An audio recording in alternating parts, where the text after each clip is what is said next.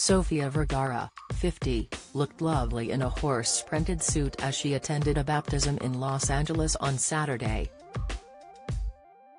The Colombian actress looked playful and elegant in the one-piece ensemble and brown platform heels. The America's Got Talent judge wore her brunette locks in soft, voluminous curls that tumbled down her back as she soaked up the sun. Sofia has had a busy few weeks since America's Got Talent wrapped up three weeks ago.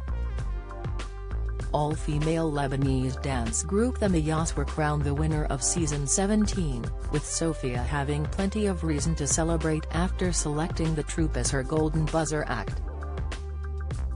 On Saturday, the actress posted a tribute to Simon Cowell for his 63rd birthday, with the caption, Happy B-Day boss.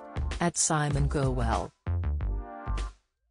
Simon's birthday was on Friday.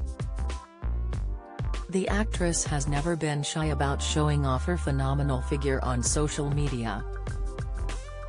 Recently, the beauty flaunted her incredible bikini body in a sizzling new snap on Instagram. The Modern Family star shared a poolside photo in a tiny animal print two-piece.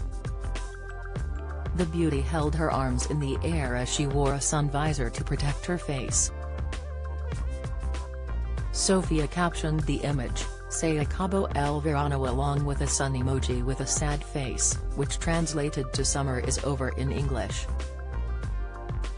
The beautiful TV favorite looked incredible in a bright yellow dress as she attended the 2022 Emmy Awards to present the award for Outstanding Supporting Actor in a Drama Series.